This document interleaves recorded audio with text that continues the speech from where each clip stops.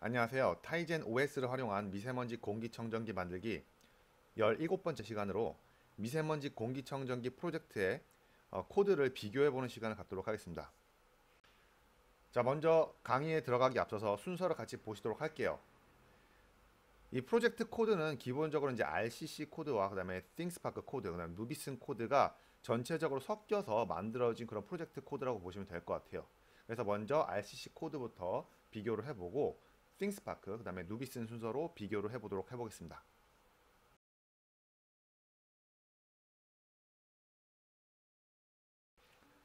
네, 먼저 RCC 프로그램 코드 비교를 진행하도록 하겠습니다. 우선 이 RCC 코드는 타이젠 공식 repository RCC 다운로드를 통해서 우리가 직접 git으로 받아볼 수가 있는데요. 이 RCC에 대해서 잠깐 설명드리자면은 타이젠을 활용하는 데 필요한 다양한 기능과 그 다음에 모듈을 미리 검증된 코드로 저장하고 있기 때문에 프로그래머의 작업 효율을 개선해 주는데 굉장히 도움을 많이 줄 수 있는 코드라고 보시면 될 것 같아요. 그래서 이 파일을 받는 방법은 우리가 git을 통해서 git 클론을 통해서 다운을 받으실 수가 있을 것 같고요. 이 내용을 그대로 치시면 될 것 같아요. 이거는 우리가 이제 git bash라는 데다가 치시면 되겠죠. 이렇게 치시고 그거를 import, 프로젝트 import라는 과정을 통해서 받아올 수가 있습니다. 자 보시면은 이런 식으로 git을 통해서 다운을 받으시고 파일 안에 들어가셔가지고 이제 해당 소스 코드를 열어볼 수가 있겠죠. 자, 이 RCC 프로그램은 프로젝트를 import 시키는 방법을 통해서 가져올 수가 있습니다.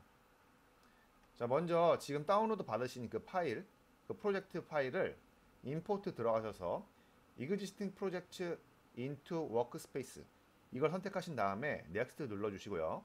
해당 폴더를 선택해 주세요. 자, 그 다음에 finish를 눌러주시면은 프로젝트가 타이젠 스튜디오 안에 들어와서 우리가 직접 확인할 수가 있게 되는 거죠. 자, 그럼 이번에는 RCC illuminance와 그 다음에 타이젠 IoT 미메이커 프로젝트 두 개를 비교를 해보도록 하겠습니다. 이건 이제 초기에 아이스케어 C 코드를 RCC illuminance의 코드를 참고했기 때문에 코드의 프로세서와 function이 다소 유사할 수가 있습니다. 네, 그럼 이번에는 타이젠 스튜디오 안에서 두 개의 프로젝트를 한번 비교를 해보도록 하겠습니다. 자, 먼저 우리가 계속 해왔던 미세먼지 공기청정기 프로젝트죠. include 파일부터 보시도록 할게요. illuminance 쪽도 include 파일을 보시고요. 자, 여기 보시면은 resource라는 부분이 있고 또 바깥에 resource라는 부분이 있죠. 이게 아무래도 RCC가 굉장히 여러 개의 모듈들을 활용할 수 있도록 다양한 코드를 제공하고 있기 때문에 이걸 resource 단위로 구분해 놓은 것 같아요. 그 중에서 이제 branch를 나눠서 여기는 이제 illuminance 쪽을 어 주로 이제 좀 코딩을 해부, 해놓은 부분이다 이렇게 보시면 될 것 같습니다. 자 이쪽을 좀 더 자세히 보면은 자 여기서 우리가 차이점을 볼 수가 있습니다. 일단은 여기서 resource illuminance sensor 그리고 internal 그리고 센서 두 가지 header 파일 있죠. 그리고 그 센서들 혹은 모듈들을 관리하는 좀 더 이제 상위 스텝에 있는 그 header 파일인 걸로 추정이 됩니다. 자 그리고 여기는 어, 제 프로젝트죠. 저희 프로젝트에서는 resource 하나로만 구성이 되어 있고요. 여기 header 파일 안으로 들어가 보시면은 전체적으로 read, write, close라는 세 가지 기능, 펑션을 여기서 이제 선언을 해놨고요. 그 다음에 이쪽을 보시면은 여기는 이제 일루미너스 쪽이죠. 옆을 살짝 나눠서 볼게요. 자, 일루미너스 쪽 같은 경우에는 일루미너스 쪽에는 지금 read 요 하나밖에 없죠. read. 자, 그리고 여기 internal 한번 가볼게요. internal. internal 쪽에는 close가 있습니다. close. 자, 그럼 약간 눈치채셨겠지만 요 close의 기능을 이렇게 다 줄여 놓은 거예요. 그리고 read 기능은 read 기능은 제가 write와 read 두 가지로 나눠 놨습니다. 자 그리고 여 밖에 있는 이 resource 이 두 가지는 제가 활용하지 않고 여기 있는 삭제한 부분이라고 보시면 될 것 같고요. 자, 그 다음에 소스를 한번 보도록 할게요. 소스. 자, 소스 보셔도 구조가 유사해요. 소스 보시면은 resource. 그쵸? 유사하죠? 기존의 이 코드를 기반으로 제가 어, 변형을 해서 만들었기 때문에 어떻게 보면은 지금 전체적인 structure가 상당히 유사한 부분이 있습니다. 자, 이거를 열어 보시면은 resource I2C 이 파일이 있고요. 여기서 열어볼게요. 그 다음에 여기는 resource 쪽에 들어가시면은 resource illuminance sensor라는 파일이 있죠. 자 여기에서 우리가 아두이노 I2C 작업들이 진행이 된다라고 보시면 돼요. 처음에 나오는 게 close 작업이죠. 여기서도 처음에 나오는 게 close 작업입니다. 저는 이거를 header 파일 하나 안에다가 전부 다, 다 때려 박은 거고요. 여기서는 전부 다 header 파일 안에다 다 이렇게 체계적으로 나눠, 놔- 나눠 놨다라고 보시면 될 것 같습니다. 자, 그리고 제 거를 보시면은 여기 이제 read 쪽이 있고 write 쪽이 있죠. 이 부분은 기존에 다 설명을 드렸으니까 생략을 하고 바로 여기서 차이점만 비교를 해 드릴게요. 여기서는 이제 read 쪽이 있죠. read 쪽을 보시면은 원래 read만 있어야 되잖아요. 여기 보시면은 오픈되어 있는지 열어서 I2C 포트 열어 주신 다음에 그 다음에 여기서 이제 write라든지 read 작업을 해주는 건데 여기에서는 지금 write와 read를 둘 다 쓰고 있어요. 이게 이제 illuminance 센서가 제가 기억하기로는 어, command command를 보내줘서 그 command에 맞춰서 데이터가 나오는 걸로 지금 알고 있거든요. 그 프로토콜을 보시면은 그래서 이제 여기서 한번 write로 어, command를 보내고 그 다음에 거기서 리턴 되어 오는 값을 reading해서 I2C로 reading해서 값을 받아와서 여기서 데이터를 processing해서 시연을 해준다 라고 보시면 될 것 같습니다. 자 그래서 보시면 여기도 out value. 이 out value라는 것도 유사하죠. 예. 전체적으로 이러한 어, 프로세스를 어느 정도 답습을 해서 구조를 만들었기 때문에 유사한 점이 많다라고 보실 수가 있을 것 같아요. 자 일단 이 정도까지 비교를 해 드리고요. 자그 다음에 우리가 어, 프로젝트에 ai2c.cpp 여기를 한번 가보실게요 자 그 다음에 얘는 illuminance illuminance.c 이 파일로 가보시고요. 자 이쪽 보시면은 처음에 create 그다음에 control 여기 작업이 있죠. 제 거에서도 여기 이제 create는 여기서는 이제 지금 누비슨 어 누비슨에 있는 클래스 객체가 여기서 생성이 되고 여기는 아마 다르죠. 여기 다릅니다. 이거는 이제 이따가 누비슨 쪽을 보여드릴 때 그때 다시 한번 비교를 해드리고요. 자, 여기 뭐 보시면은 컨트롤 쪽. 자, 컨트롤 쪽 보시면은 자, 뭔가 유사점이 있죠. 자, 여기 타이머 setup이라는 이름이 있고 gathering start라는 이름이 있어요. 자, gathering start가 뭐냐? 보시면은 Ecore 타이머를 등록을 해주는 부분이에요. 동일하죠. Ecore 타이머 등록해주는 부분. 전체적으로 보시면은 프로세스 flow가 여기에서 조금 유사하게 맞춰놨어요. 여, 여기서 좀 유사하게 맞춰놓은 부분이 있다라는 것을 어, 참고를 해주시면 될 것 같아요. 자, 이 정도까지 해서 이 미세먼지 공기청정기의 프로젝트가 갖고 있는 코드가 저 illuminance 쪽에 있는 코드랑 상당히 유사한 부분이 있다라고 보시면 될 것 같습니다.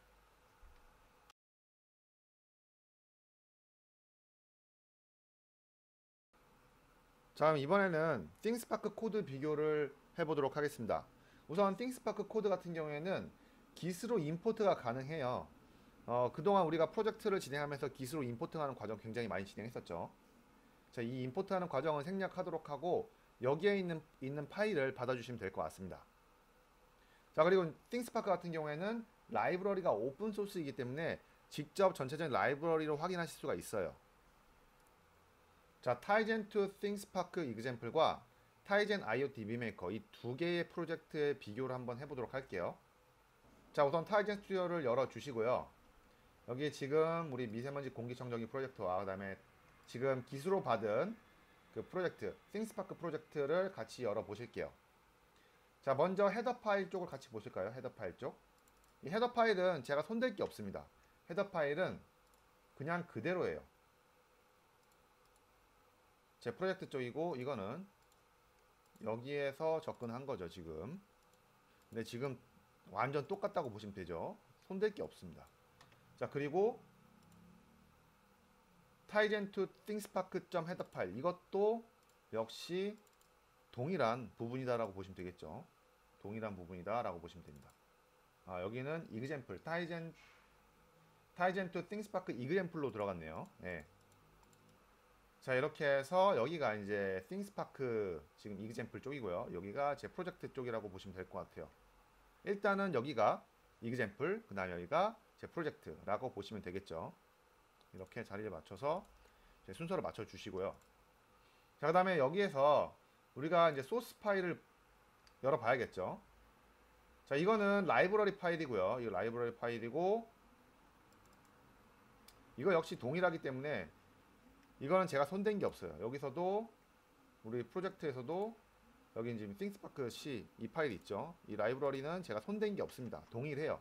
그래서 이거는 그대로 가시면 될 것 같고 자 결국에는 여기는 이제 example이라는 파일 쪽을 보시면은 여기서 여기서 활용하는 거를 제 여기 ai2.c ai2.cpp 파일 있죠. 여기서 어떻게 다르게 썼는지 그거를 화, 확인해 주시는 게 중요하겠죠.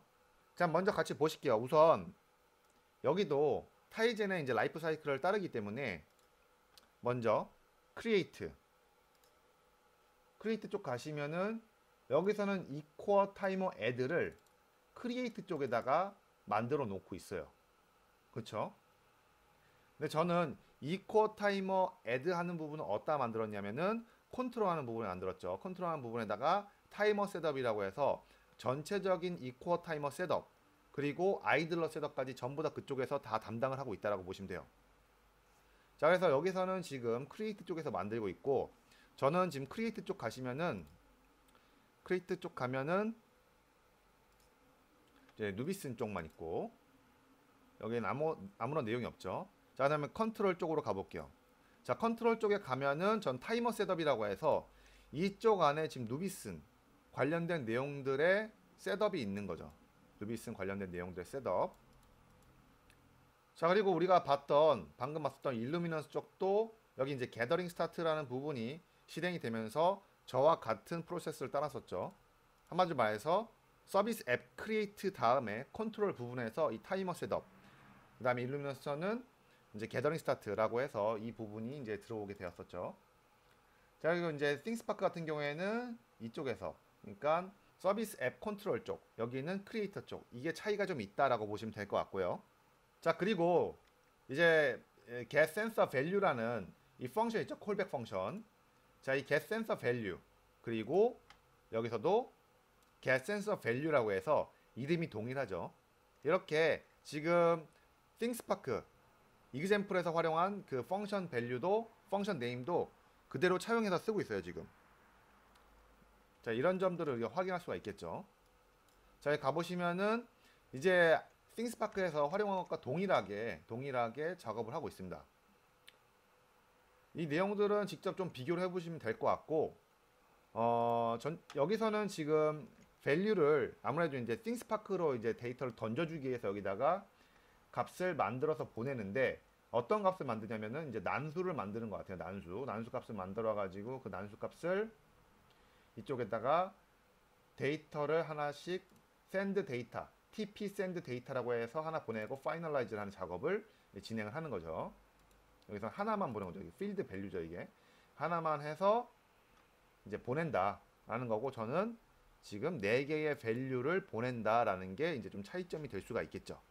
자 이렇게 비교를 해드리면은 사실 ThingSpark 그 다음에 미세먼지 공기청정기 활용하는 코드의 비교는 사실 다 끝났다고 보시면 돼요.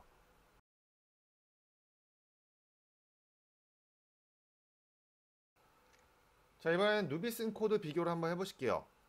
누비슨 코드도 git import를 가지고선 프로젝트를 받아오실 수 있기 때문에 여기에 있는 URI 값만 이용해서 받아주시면 될 것 같습니다. 자 그리고 누비슨 같은 경우에는 라이브러리가 공개되지 않고 있지만 활용 방법 같은 경우는 이제 강좌를 통해서 다 다뤘었죠.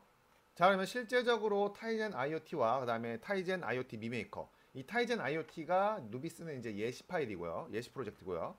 이 타이젠 IoT 미메이커는 저희 이제 미메이커 공기청정기 프로젝트죠.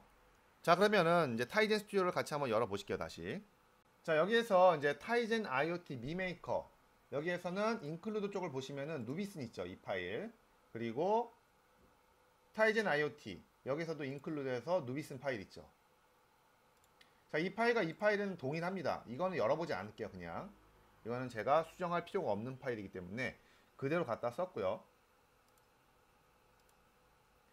자, 그 다음에 우리가 보셔야 될 파일은 결국에는 이제 소스 쪽에 ai2.cpp, ai2c.cpp 이 파일과 그 다음에 여기 이 누비슨 예시 파일, 예시 프로젝트에서는 controller CPP 두 개의 파일을 비교해 주시면 되겠죠.